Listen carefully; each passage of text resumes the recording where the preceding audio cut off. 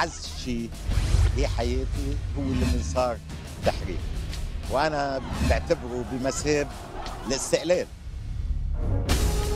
كان يعني انتخاب الرئيس أمين لحود لرئاسة الجمهورية مصدر اطمئنان الحقيقة. وهكذا كنا أمام من جهة انحياز شيراك ومن جهة ثانية أمام غطرسه والبراهيم الرئيس الحص كان هو الشريك الأمثل للرئيس لحود في في خوض هذه المعركة.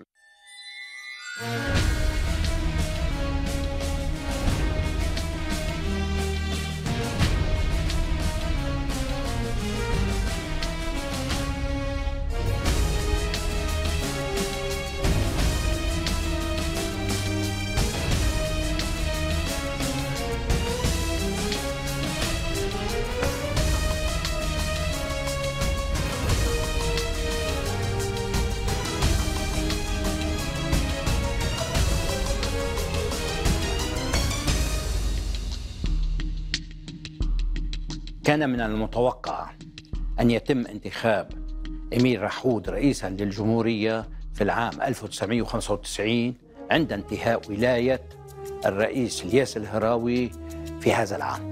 لكن قرر الرئيس الأسد أن يتم التمديد للرئيس الهراوي ثلاث سنوات وأن يتم التمديد أيضا لقائد الجيش إميل لحود ثلاث سنوات. وفي هذه المرحلة هبطت أسهم الرئيس الهراوي إلى الحضيض. في حين صعد نجم إميل لحود وبات رجلا شعبيا.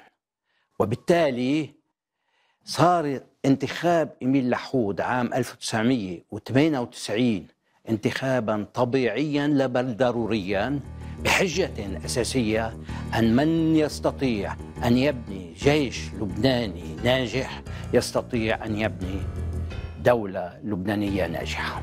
هلا كيف صارت الرئاسة؟ الرئاسة أنا فعلا 95 قلت هودي يعني لو بدهم إياني جابوني لأنه صعب. يعني عند السياسيين ومرقوا يعني شافوني كقائد جيش وما كانوا ممنونين من الطريقة اللي كنت أعمل فيها. قلت أكيد مش وارد ب 98 على أساس طالع التقاعد بتفاجأ قبل ثلاث أسابيع من الاستحقاق الانتخابات. أه بيحكيني الرئيس بري. بطلع أه بيقول لي فعلا كبر قلبي جنرال. قلت له ليه؟ قال لي طلعت عند الرئيس الأسد عم بسأله الرئيس الأسد إنه عم نجوج الأسامي في عدة أسامي وعم نحكي فيهم. وعلى هالأساس نحن كمان يعني بنتنور أنت شو عندك أفكار. آه بجاوبني. عندكم قائد جيش مثل فخر الدين. أنا وقتها معش آه حكيت زيادة على أساس إنه أكيد أنت مفروض كنت تقلي قلت بسألك. قلت له أول شيء فعلا ما بعرفه الرئيس الأسد إنه من بعيد قدرني هالقد. قلت له هيدي الشهادة بحياتي ما كنت بتصورها قال لي بدك تقول لي من خمس سنين لهلأ. وعم بيقول عنك فخر الدين؟ قلت له هذا البرهان إنه هو ما بيتأثر بالمصالح الضيقة هو بيشوف استراتيجية. بعدها بسمع إنه رئيس الهراوي مدعو إنه يطلع. بهالوقت آه طلع أو ما طلع رئيس آه مجلس النواب آه الحقيقة بعتقد إنه طلع وصار يجي لي هبز إنه ممكن أنا رئيس جمهورية بس بقوة يعني. طلع رئيس الهراوي رئيس الهراوي بعدين عرفت فيها. بوصلته بيقول له للرئيس الأسد إنه بما إنه لمن بلبنان عزناكم أنتم بعتوا الجيش السوري تيساعد لبنان وقت الصعوبات وساعدنا كثير وخاصة بعد الطائف. نحن بدنا نساعد كمان سوريا اللي هي كانت على خلاف مع تركيا آنذاك. وبنبعت قائد الجيش مع الجيش اللبناني على سوريا تيأذركم بيجاوبوا الرئيس الأسد بيظهر كان عم بيقرأ النهار وكان النهار معنونه وقتها إنه عاملة ستاتستيك استطلاع رأي. استطلاع رأي. وبالعنوان إيميل لحود 60% ثاني واحد نسيب لحود 3% بطرس حرب 3% فلان 2% إلى آخره. بقى قال له النهار دخلك عادة مع الرئيس هو مش قاري مع قائد الجيش آه، رئيس الهريري مش قاري النهار كان طالع دغري. قال له عادة مش معه لقائد الجيش. قال له تفضل إذا النهار عم تعنون هيك يعني الشعب اللبناني بده قائد الجيش رئيس جمهورية ونحن مع الشعب اللبناني. وقتها فهم الرئيس الهراوي.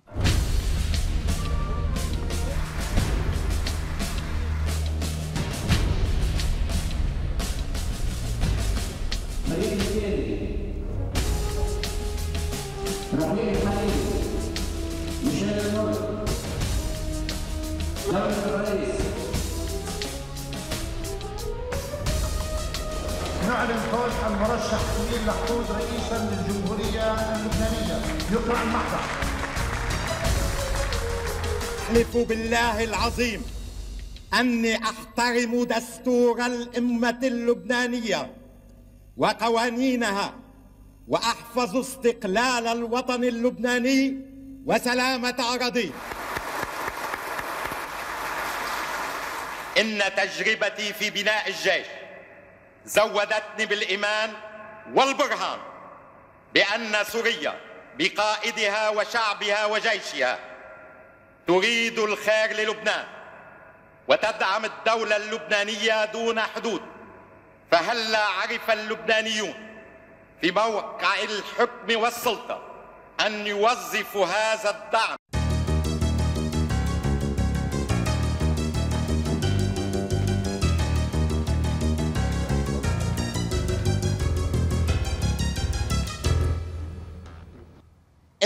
بدي أعمل مثل ما عملت بالجيش بدي أعمل بالدولة. ومشان هيك قلت دولة المؤسسات والقانون. تاني شيء قلت إنه القضايا الاجتماعية. ثالث شيء قلت نحن وسوريا بدنا نكفي سوا على أساس سوريا اللي ساعدتنا. وكنا وقتها وصلنا تقريبا على التحرير. ودعمتنا ودعمت المقاومة وبذات الوقت عندها ذات المشكل مثل الجولان كانت آه، إسرائيل قاعدة فيها مثل ما قاعدة عندنا بجنوب. قلنا الحل تيصير شامل لازم يكون على ذات المسار السوري اللبناني. تلازم المسار تلازم المسارين هودي لازم يكونوا مع بعض. مجيء الرئيس لحود آه، لرئاسة الجمهورية ب 98 ثم مجيء حكومي برئاسة الرئيس سليم الحص يعني هون المقاومة فينا نقول كانت مرتاحة جدا في الوضع السياسي الداخلي. يمكن بسوريا كان في آه، تقدير من قبل الرئيس حافظ الأسد لدور المقاومة. كان في ضمانة سياسية أنه مهما كان هناك خلافات بين ممثلي المقاومة بين الحكومات السابقة ففي الدور السوري اللي ب 93 حاول البعض إنه يلعب عليه ويخترقه لكن ما نجح بسبب مثل ما ذكرت موقف آه، قائد الجيش آنذاك واضطرار الرئيس حافظ الأسد للتدخل ولجم مثل هذا ال- هذا التحول في الموقف السياسي. مجيء الرئيس لحود ب 98 مع حكومة شكلت مع الموقف السياسي السوري شكلت للمقاومة غطاء سياسي. مع تنامي قدرة المقاومة وإثبات آه، فعاليتها وزيادة خسائر الجيش الإسرائيلي وتنامي شعبية المقاومة. كان يعني انتخاب الرئيس إمين لحود لرئاسة الجمهورية مصدر اطمئنان الحقيقة على المقاومة وعلى لبنان وعلى العلاقة اللبنانية السورية. بيدعيني أول واحد رئيس الأسد من بعد انتخابي. بطلع لعنده منبلش حكي أول شيء كان مسرور كتير إنه عملت رئيس. وبعدين بيسألني بمين عم تفكر آه، رئيس وزراء؟ قلت له الحقيقة بعد تجربتي أنا وقائد جيش إن شاء الله يجي الرئيس الحص. قال لي ممتاز الرئيس الحص. شو رأيك بالرئيس الحريري؟ قلت له الحقيقة أنا وقائد جيش ما كنا نلتقى. كنا نختلف. وبما أنه أنا جاي جديد آه، بدنا نقلع من أول الطريق. وفعلا يعني آه، رئيس الحص أنا برأيي كنا منسجمين قبل لمن أول ما عملت قائد جيش هو كان رئيس وزراء. قال لي ممتاز ممتاز. رئيس الحريري عنده معارف دولية. وأنت بعدك جاي جديد هلأ. رئيس جمهورية بلبنان. وهو بيقدر يساعدك كثير قلت له على كل حال مش رئيس جمهورية اللي بده يجيب رئيس الوزراء. بعد الطائف هو مجلس النواب إذا أخذ الأكثرية بده يجي هو. وفعلا تركنا من هونيك وصلنا على لبنان. أول شغلة طلبت إنه ينعمل استشارات. كان الرئيس لحود ببداية عهده في معركة بده يخوضها وعرفانها. الرئيس الحص كان هو الشريك الأمثل للرئيس لحود في في خوض هذه المعركة. نعمل استشارات بياخذ الرئيس الحريري 83 صوت. وبيفوضوني أنا 31 نايب. بما إنه 83 صوت آه، بحق له بقى يعمل رئيس وزراء. يعني إذا أعطيت الأصوات لغيره ما بيقدر يعمل. قلت بحط الأصوات زيادة بجمعهم اثنيناتهم هذا العدد يلي بياخده هو. على أساس بيطلع 114 اجى رئيس بري قلت له شو صار؟ بحسب القانون. وقتها استدعيته لرئيس الحريري بوجوده لرئيس مجلس النواب. قلت له آخذ 114 صوت. قال لي لا أنا بدي أعرف أنا قديش اخذ قلت له 114 قال لي لا أنا شخصيا قديش اخذ قلت له أنت اخذ 83 وت... وأنا اعطوني 31 هودي فوقهم صاروا 114 قال لي لا أنا ما بقبل هالشيء لأنه أنت أخذت 118 صوت. أنا كيف بدي أحكم معك رئيس وزراء؟ وعندي 83 صوت.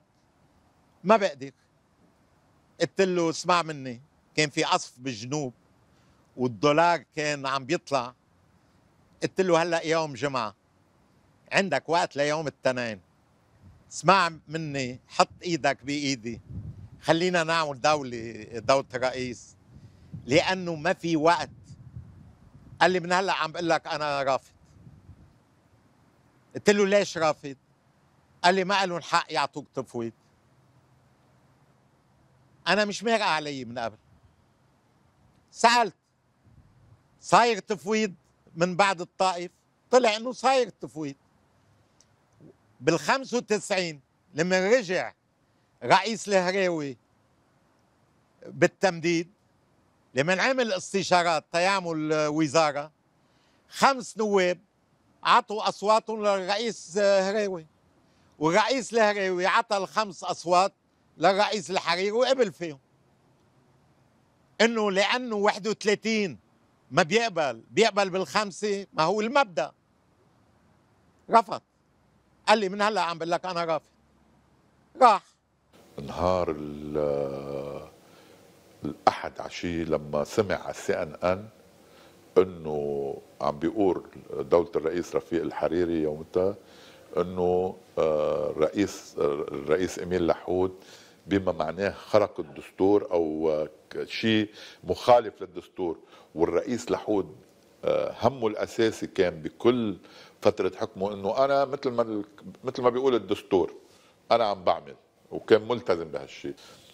بقى الرئيس لحود لما سمعوا عم يحكي هيك نهار الأحد مع إنه رئيس لحود ما كان ناوي إنه يرفض الاستقالة بس لما سمعوا عم بيقول إنه الرئيس اللبناني عم يخرق الدستور أو مش عم يتبع الدستور غضب غضب شديد وقرر بلحظتها قبول الاستقالة.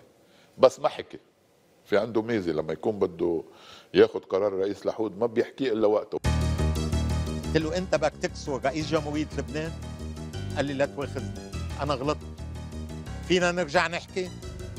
قلت له يا ريت هالحكي بيني وبينك. بس لما تطلع بالسي ان ان وبتقول للعالم كلها إنه كسر الدستور. وأنا أرجع أقبل معك. يعني انتهى رئيس الجمهوريه قبل ما يبلش. يا ريت ما عملتها هيدي. قال لي معك حق أنا عملت غلطة كبيرة.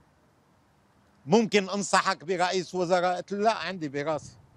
إن شاء الله النواب يمشوا في رئيس الحص. وأنا مش حاكي مع رئيس الحص. من قبل ما أروح شوف الرئيس الأسد بالزيارة ومن بعد ما رجعت مش حاكي معهم بس الناس ما بيصدقوا مش معودين. كانوا يقضوها على التليفونات. قال لي رئيس الحص كثير بطيء وبتتعب معه. شو رأيك أنا؟ قلت له لا تواخذني قال لي ممكن ضل آه، صاحبك؟ قلت له صاحبي ونص.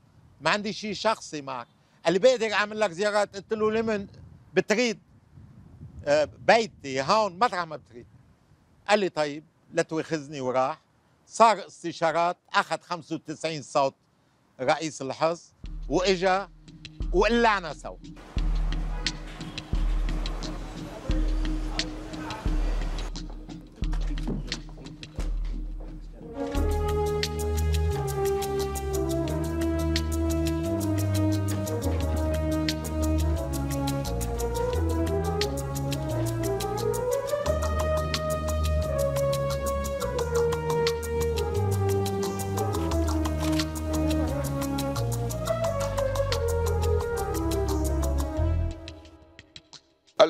جميل السيد إذا بتريد بلغهم حتى هو دائما عنده العلاقه مع سوريا بطبيعه الحال إنه ما بيقول لهم الشيء اللي بده يعمله قبل بشي ساعة بربع ساعة ما كان مثل ما الناس بتفكر إنه والله والله كل السوريين كل كلمة بيقولوا لي وأثبتت الأحداث هالشيء مش مزبوط هذا وأنا بأكد مش مزبوط لاكثر واحد بعرف هذا الموضوع الرئيس كان ياخذ براسه ويبلغ. وآية كان يبلغ السوريين يمكن قبل بنص ساعة. وأنا بأكدها وبناقش فيها وبشارع فيها لآخر لحظة لأنه بعرف مزبوط منذ اليوم الأول من انتخاب الرئيس لحود وقع خلاف مع اللواء غازي كنعان حول تعيين قائد الجيش. غازي كنعان كان يصر على أن يكون رئيس الجيش ميشيل سليمان. في حين أن رئيس الجمهورية إميل لحود كان يريد أن يأتي بأسعد غانم قائدا للجيش. وفي نهاية الأمر كان لغازي كنعان ما أراد ولكن صار هناك نوع من خلاف أو برودة ما بين الرجلين.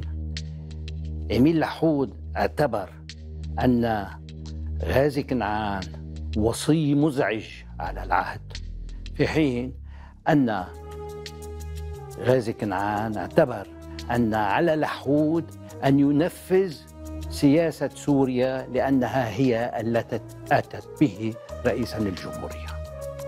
وانتهى الأمر مع الرئيس بشار الأسد بأن ذهب أو استبعد غازي كنعان عن لبنان وحل محله نائبه رستم غزالي.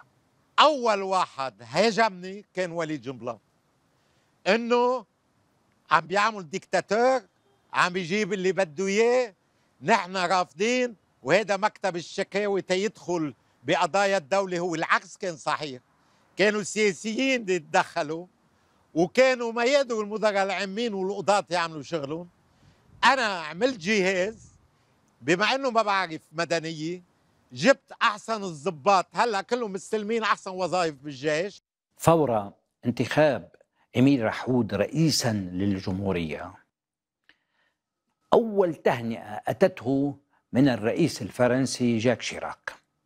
واتفقا معا على أن يقوم الرئيس لحود بزيارة رسمية إلى فرنسا. ولكن جاءت الاستشارات النيابية فأعطت سليم الحص رئيسا للحكومة بدلا من رفيق الحريري صديق الرئيس شيراك وكانت ردة فعل فرنسا بأن ألغت زيارة الرئيس اللبناني إليها. بقي الأمر معلقا إلى أن التقى الرئيسان اللبناني والفرنسي في 4 أيلول 1999 في القمة الفرنكوفونية. وفي هذه القمة جرى البحث مطولا بين الرئيسين حول كل مواضيع المنطقة ولبنان والعلاقات الفرنسية اللبنانية و اقترح في إثرها الرئيس شيراك أن تتم القمة الفرنكوفونية القادمة في بيروت تحت عنوان حوار الثقافات.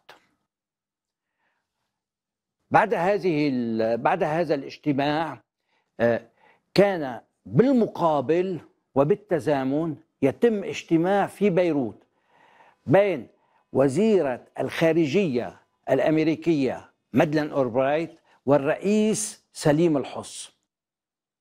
ومن الواضح أن كان الموقف اللبناني واحد بين اللحود وبين الحص بشكل أنه أبلغوا الفرنسيين وأبلغوا الأمريكيين بأن لا مفاوضات مع إسرائيل ولا مباشرة ولا غير مباشرة قبل انسحاب الكامل من إسرائيل من كل الأراضي اللبنانية. وهكذا كنا أمام من جهة انحياز شيراك ومن جهة ثانية أمام غطرسة أولبرايت بيبعت السفير تبعه بيقول لي شيراك لغى الزيارة. يعني تتعرفوا يا عربان كيف بيعاملوا الناس. بس هلأ عم بحكيها تتسمعوا. رئيس فرنسا يلي بيترجى تيستفيد منه هو من خلال حريري لأنه رئيس شيراك كان بجيبته لرئيس الحريري. بده ياخذني إنه بكي بيستميلني وكانوا معودين إنه رؤساء العرب دخلكم فرنسا هيدي هيدي بريطانيا هيدي أمريكا. إنه من خلالهم بعمل شو بده الحريري لأنه ما اجى رئيس وزراء بيبعت السفير مثل كأنه بعده بالانتداب إنه ما في لزوم بعد تجي. كان جوابي قل له لرئيسك بالأساس أنا ما بدي أروح لعنده ترجاني رجا. ومنيح اللي طلعت منه أنا ما بدي أشوفه. وفعلا من يومتها لبعد سنة لا صار في وقتها بمونكتون بكندا وقتها بعت لي السفير وتراجع وقال لي بتمنى عليك بيطلب منك صار في غلط. شيراك تروح على مونكتون أنت أهم شيء إنه تجي على الفرنكوفونية لأنه بدنا نعمل فرنكوفونيه بلبنان. قلت له إذا بيعمل فرنكوفونيه بلبنان أنا بروح وما عندي شخصي معه إذا هو تراجع ما عندي مشكل. شو اللي بيصير؟ بوصل على مونكتون بعمل خطاب ما بنسى 99 وبقول لهم أهم شيء عند العربان هو القرار الدولي 194 وعم بحكيها بالفرنكوفونية. ما لهم دخل بالقضية الفلسطينية.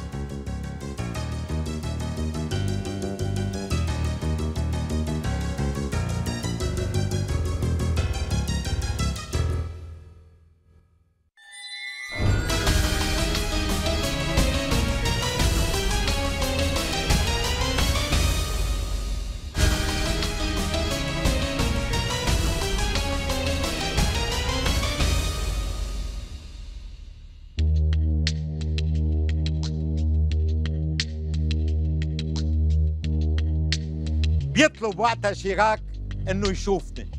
اجى على الصالون قال لي آه، أنا عم بسمع عن الدكتور وعم بعرف إنه أنتم بتعرفوا بعض منيح شو رأيك؟ كذا. قلت له مثل والده وذات العقلية وذات الخط اللي نحن مقتنعين.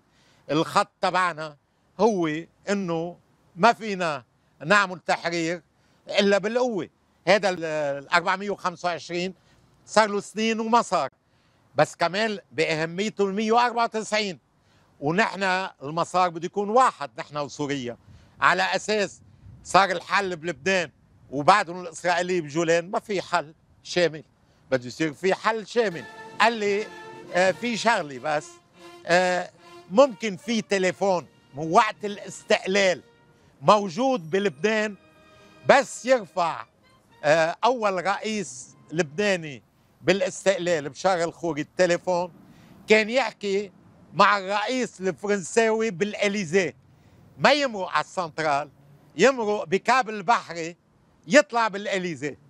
هذا ما حدا بيقدر يسمعه يعني مش بالهوا ولا مارق على السنترال. قال لي أنت بس وصلت هذا قيمته الخط. فيني أعرف ليه؟ قلت له رح أقول لك ليه. مش لأنه قضية شخصية اختلفت أنا وياك لا. أنا ليش بده يكون عندي خط آه مباشر مع رئيس فرنسا؟ وما عندي خط مباشر مع دول العربية. اثنين لقيت إنه مع دول عربيه كمان ما في لزوم لأنه رح تشوف إنه أنا ثقافتي عسكرية ما عندي شيء أتحايل عليه وأقول لك هذا آه، أسود واضمر له أبيض يما غير شيء قال لي بكي بدنا نحكي أنا وياك شيء ما بدنا السوري يسمعوا. ما بنسى. وهالشيء أنا ما قلته لحدا وقت قلت له السوري وغير السوري. قلت لك كل شيء فوق الطاولة. إذا تقتنع بهالشيء كان به ما بتقتنع أنا ما راح أعمل خط مع حدا. قال لي خلص بنضلنا أصحاب. قلت له أكيد أصحاب. وفيما بعد صار يتقرب وإجا وقت على الفرنكوفونيه وقال لازم الوجود السوري بلبنان يكون آه، موجود بس بيكون موقت وقبل بالوجود.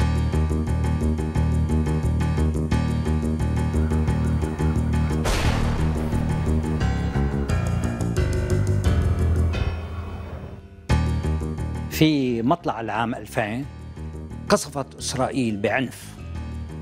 البنى التحتية في لبنان وبصورة خاصة محطات الكهرباء.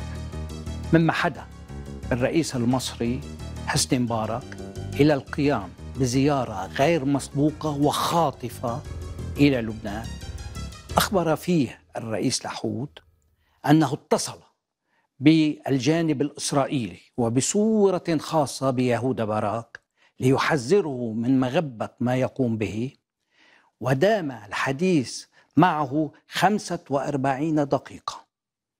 لم يستطع اليهود باراك أن يعطي للرئيس المصري أي جواب واف أو أن يبرر أعماله. وفي إثر هذا اللقاء صدر بيان مصري لبناني يؤكد على حق المقاومة في لبنان ضد إسرائيل. واستطاع هذا اللقاء أن يعطي ثقة للرئيس لحود بنفسه بأن لبنان ليس متروكا وأن لبنان محاط عالميا ومدعوم من قبل الدول والقوى الأساسية في المنطقة. آخر النهار بالتسعة وتسعين أي على قلبة القرن الجديد الألفين حول الساعة ستة مساء عم نحضر حالنا تنسهر على راس القرنية إلى آخره الساعة ستة. بيجي لعندي قائد الحرس الجمهوري مصطفى حمدان. بيقول لي سيدنا هلا بعده حكيني قائد آه، الفرع الأمن القومي من الشمال. بيجي من عنده آه، العميد فقيه وقتها إنه آه، قاتلين عسكر من عنا بالضنية. دغري بتصل بقائد الجيش. العماد ميشيل سليمان كان هو قائد الجيش. قلت له عوض بسلامتك ميشيل. آه العسكريه قال لي ليش شو في قلت له رايح لك عسكر. قال لي لا مش رايح حدا. قلت له إن شاء الله تأكد لي ورجع رجعني. بعد ساعة بيحكيني. قال لي هلا عرفنا ما كان في غير الدوريه رايح منها ورايحين جرحة شو بتريد؟ راح خبر هلأ وزير الدفاع أه تعملوا أنتم مجلس أعلى للدفاع حتى تاخذوا قرار. قلت له أنا قبلك كنت قائد جيش. لما بيرح لك عسكري عندك حق الملاحقة ما بتسأل حدا. بدك تلحقهم. أنا رئيس جمهورية عم بقول لك بكرة صباحا على طلوع الضوء بدك تكون مجهز أفواج المغاوير. وبتكون فوق بس يكون طلع الضوء بتكون صرت فوق. بدك تلقط اللي عملوها. قال لي بتريد قل له الوزير قلت له ما بتخبر حدا. مثل ما أنا كنت أعمل بالماضي بدك تعمل. لأنه شيء ما بينطر وبدك عنصر المباغتة. قال لي بأمرك تاني يوم الصبح بلشت العملية كان في يومين عيد. ما حدا عرف شيء. ثلاث أيام كان رحنا نحن 11 شهيد. واحد منهم الله يرحمه ذبحوه. آه،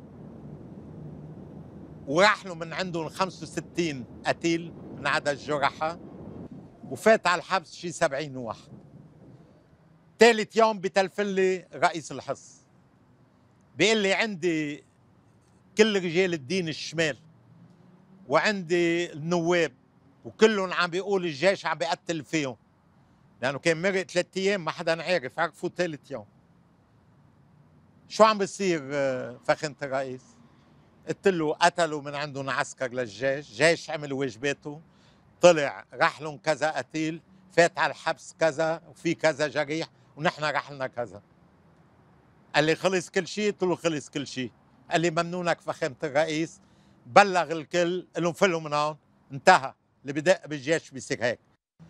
وقفت هون. مين الزعل وهيدي ما حدا حكي فيها. السفير الأمريكاني. بتلفن لي.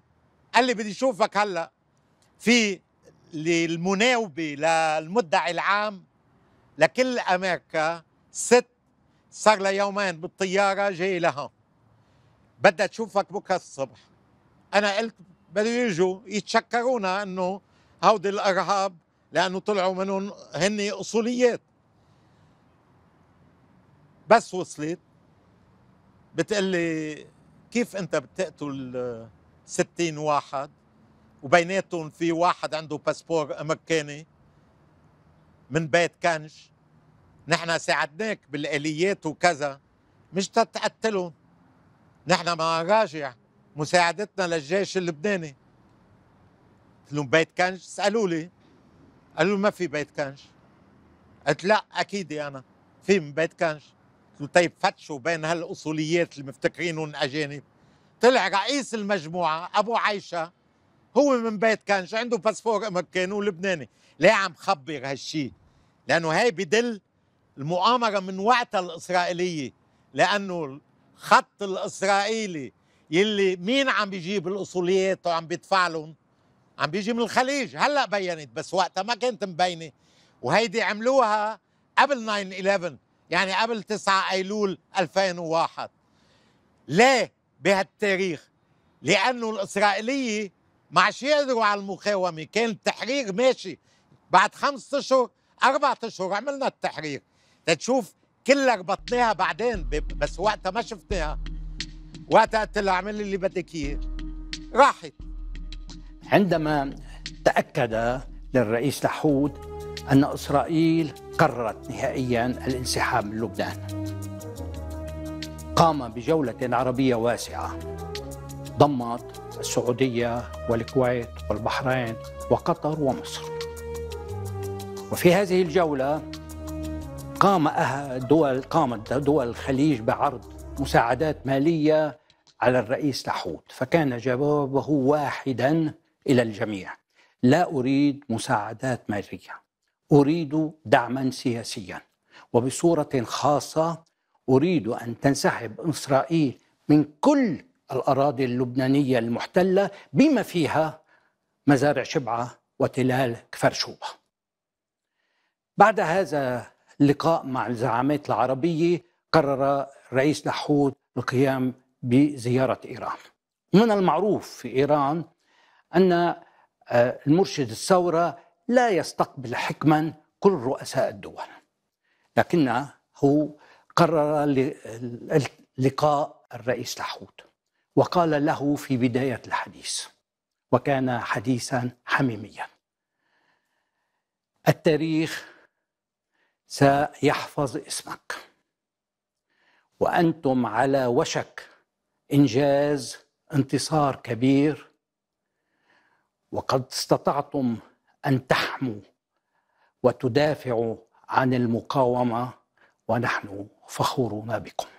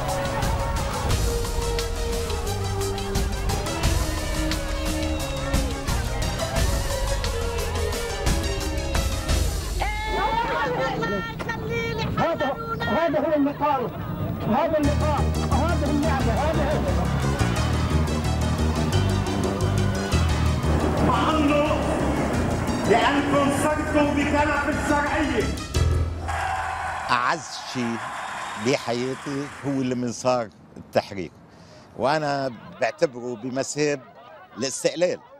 الاستقلال الحقيقي لأنه صار في دم كتير من أجل التحرير أول شغلة ببلشوا آه، بعض الرؤساء العرب عند زياراتهم للبنان آه، يسألوني لأنه كانت مبينة أنه نحن أقوى وخاصة من بعد ما صارت قصة الكهرباء وردينا ومستقلين إن افتكروا إنه بكي نتراجع. وقتها أول سؤال بيسألني رئيس مبارك شو رأيك إنه بس يصير الانسحاب؟ هل إنه بده يصير في شيء شروط أو غيرها؟ كان جوابي وقتها عملت تصريح بهالمعنى وقلت إنه إسرائيل بحسب القانون وبحسب الحق والقوة بدها تنسحب وما في شروط ولا من قريب ولا من بعيد. وبلشت بقانون وقتها شباب صغار. يعني اجوا لعندي كان عمرهم بين ال 12 وال 16 ما بعتت بالعالم صايرة. وبكثره بيجربوا يقتحموا عندهم كل هالشرايط الشائكه اللي حاطينها حول قانون وكانوا حاطين الغام يعني اللي بيطلع فوق الشريط. في لغم بيفقع فيه وكان مبينين حاطين علامات مشانهم الإسرائيلية تيعرفوا وين موجودين وفي البعض منهم مش معروفين بس هن بيعرفوا من المسافة يلي مبينة هيديك وين بتكون تيرجعوا يقيمون في حال هن بدهم ينبوا وطلعوا وفي صور بإيديهم عربشوا ودعسوا عشيتوا وبلشوا القواس فيهم وما ردوا تلاميذ مدارس. أنا تاثرت كثير الصور اللي جابوا لي إياهم عملنا مجسم وحطيناه بقاعه الاستقلال بالقصر الجمهوري. بس للأسف من بعد ما اجى الرئيس ميشيل سليمان قاموا. ولكن لازم يرجع للتاريخ. تيعرفوا لمن عنا أولاد مثل هالولاد اللي شفناهم كيف حاولوا بدون خوف من ألغام من كل شيء الرصاص اللي طلع عليهم. يعني ما حدا بيقدر على لبنان. من بعدها صار الانسحاب حول حزيران من جزة أنا ذاك إسرائيل حست إنه ممتدة بجزين زيادة نحو لبنان. يعني كان المواقع ورا شوي هي لقدام. وكان أنا ذاك المقاومة اللبنانية وأكتريتها كانوا من القوى الوطنية من قومية وغيرها. عم بيتقدموا على هالخط ومتخوفين إنه يعلقوا هونيك ويتفاجئوا. ليلة بدون ضوء قمر بدون ما يحكوا مع حدا فجأة بينسحبوا. صباحا ب 24 أيار سنة ال 2000 بيجيني الخبر إنه على طلوع الضوء انسحبوا. طلبت قائد الحرس العميد مصطفى حمدان قلت له بأسرع وقت نحن بدنا نكون هونيك لأنه خايف يكون في طابور خامس. يكونوا مخليين ناس يكونوا هودي بيتعاملوا مع إسرائيل يعملوا تفجيرات يعملوا لنا مذبح. الساعة تسعة ونص لأنه على الطريق الناس ما نقدر نمرق لأنه كتار راجعين على الجنوب دغري. هن كانوا متأملين ما حدا يرجع. وصلنا أول شيء على البياضة. قلت له بدي بلش من الناقورة لآخر الحدود اللبنانية مع فلسطين. لما فتنا من هونيك على الضياع بعض الأهالي اللي كانوا فيها يعني الإسرائيلية عندهم عملاء خايفين قاعدين بالكنيسة. اكثريه العملاء راحوا مع الإسرائيلية. فوت على الكنيسة بيطلع رئيس البلدية وبيعمل خطاب وبيتأهل إلى آخره. قلت له ما تخافوا. أنا رئيس جمهورية لبنان عم بقول لكم ما بصير ضربه كف المهم لبنان رجع لكل اللبنانية. أنتم بالنسبة لإلي مثل أهالي بعبدات اوعى تفتكروا حدا رح يجي يصابكم وكونوا أكيدين إنه لبنان كله بده يكون مسرور برجعتكم للبنان.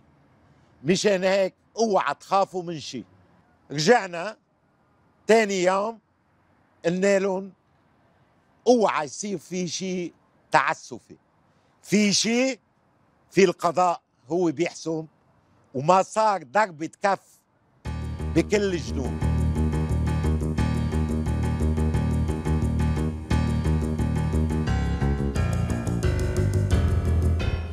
هو عم بيصير الانسحاب بتفاجأ بتليفون الساعة 12 بالليل وزيرة خارجية أمريكا مادلين أولبرايت تطلبني قالت لي وصل لي خبر هلأ من لارسن إنه تم الانسحاب. إذا بتريد جامعين كل الوزراء السفراء دول كبرى وسفير لبنان حتى أنتم تقولوا انه صار الانسحاب لأنه بدون الدولة المعنية يعني ما لها معنى أنا قلت بدي يكون معقول يعني بالفترة اللي أنا ما كنت بالقصر صار. كنت حاطط وقتها العميد حطيت على الحدود على أساس وقتها هو على حسابه كان طالع ال GPS جديد. اشتريه من أمريكا من واحد رابطه لما حطيته مسؤول تعرف إذا بده يصير الانسحاب. كانوا يعملوها وقتها مش بهالدقة اللازمة. بقى قال يعملها دقيقة جاب GPS وكان عم بيواكب الانسحاب يوم بيوم. تلفن له. بقول له صار الانسحاب قال لا. هلأ قبل ما نخلص الشغل الساعة سبعة أنا وقائد القوات لقينا إنه بعد في 18 مليون متر مربع بعد ما صار في الانسحاب. أنا بكل لطف قلت لها أكيد ما بتعرفي مسز أولبرايت بس نحن بنعرف على الأرض لأنه عندي ضابط وعنده GPS تتعرف إنه دقيق. ومع قائد القوات الدولي لقوا إنه في 18 مليون متر بعد آه، داخل الخط الأزرق. وأنتم قلتوا إنه بده ينسحبوا للخط الأزرق. لأنه فيما بعد عرفنا اللي عملوا الخط الأزرق ما انتبهوا. في محلات الأراضي عالية بدهم الإسرائيلية يقعدوا فيها أهون يراقبوا من إنه يكونوا تحت. وقتها قالت لي طيب عم بيقول لي لارسن. ولما بيقول لارسن يعني أمم متحدة. هو بيحكي باسم قلت لها ما بيقدر يقول. أنا عندي ضابط وأنا أكيد ما صار الانسحاب. المهم أخذوا رد شي ساعتين بعدين قالت لي ليك لو كنت أنا ببيروت أكيد كنت تقتنع مني. أكيد مش قضية جمالها يعني كانت بدها تجي تقول لي بعطيك وأنت بتعطيني. للأسف هذا تحليلي. قلت لها ولو كنت هون ما فيني أعطيك إياهم هودي مش ملكي. قالت لي طيب شو رأيك وهون ليه عم بقولهم تتعرف كيف يعرف الشعب العربي كيف بيشتغلوا بمجلس الأمن والأمريكان وإلى آخره؟ قالت لي أنت عمول تصريح قول ما صار الانسحاب على مش عش... 18 آه، مليون متر على 100 مليون متر. بس قل له لسفيرك مش يحط ورقة إنه صار. تما تطلع إنه أنت عم تكذب يحط ورقة بيضاء. قلت لها ما هذا كذب؟ لأنه أنا عارف ما صار الانسحاب. لما بقول له حط ورقة بيضاء يعني عم بكذب على شعبي. عم بقول لك إذا في متر ما بقدر أنا. وما بقدر أنا أطلع وتزايد أنا مش هون. وفعلا مثل ما قلت بالأساس أنا ما كنت آمن إنه إعلام وكذا. المهم النتيجة. قالت لي ليك بدنا نعمل conference ونحكي مع العميد لأنه أكيد بيكون في شيء غلط وقائد القوات الدولية. تعمل conference على التليفون وأنا عم على الخط وسفير مصر يلي بيحكي عربي عم يترجم مع أمين ويقول لهم أمين يا عمي في 18 مليون متر. أنا أكيد على ال GPS وهذا قائد القوات الدولية كانت صارت خمسة الصبح. طول الوقت تقول لي president president خمسة الصبح قالت لي أنت بتعرف مع مين عم تحكي؟ عم تحكي مع وزيرة خارجية أمريكا وعم تحكي مع آه أمين عام آه الأمم المتحدة. بتعرف شو معناتها يا آه مستر لحود؟ خلص عرفت إنه غيرت طريقتها. متعودة هيئتها تحكي هيك للأسف مع كثار من الدول. شو بدي جاوبها ست لو رجال كانت أخذت الجواب قلت لها مسز أولبرايت هلأ خمسة الصبح صارت بلبنان أنا نعسان بدي نام وسكرت التليفون. وفعلا أنا بعتقد هيدي كانت القلب النوعية لأنه قبل ذاك التاريخ يضل يحكوا فيي منيح وإنه لازم يعمل قائد جيش وبعدين لازم يعمل رئيس جمهورية. من بعدها تغيرت. بس وين الأهمية؟ أول يوم بحطوا ورقة بيضاء روس. ثاني يوم بيمشوا روس. بيعلنوا الانسحاب. بعطي أمر للجيش ما بيتقدم على الحدود. يعني ياخذ الفراغ تبع القوات الدولية. بتقوم علي القيامة بيجي البي بي سي بيطلب إنه بده ياخذ تصريح بعد التحرير. قال لي شو رأيك؟ ما عادش في سبب هلأ السلام؟ قلت لا في عندك كذا شغلة. عندكم حق العودة عندكم المياه اللبنانية عندكم كذا وكذا. والأهم شيء بهذا الموضوع ما راح الجيش على الحدود لأول مرة أنا بعتقد بتاريخ الأمم المتحدة. ما بيقدروا ينفذوا لوقت ثلاث أشهر من بعدها. كنت طلعت على القصر أنا بالشوف بيجي لعندي السيد ووكر مساعد آه أولبرايت المسؤول عن الشرق الأوسط. بقرر قال لي كان معك حق. ومن بعدها انسحبوا من 18 مليون متر. يعني اخذت ثلاث أشهر فصار تنفيذي لأنه نحن منعنا هالشيء لوقت اللي عمله. كنا بشرف نحن متوقعين ننتحر بس بشرف.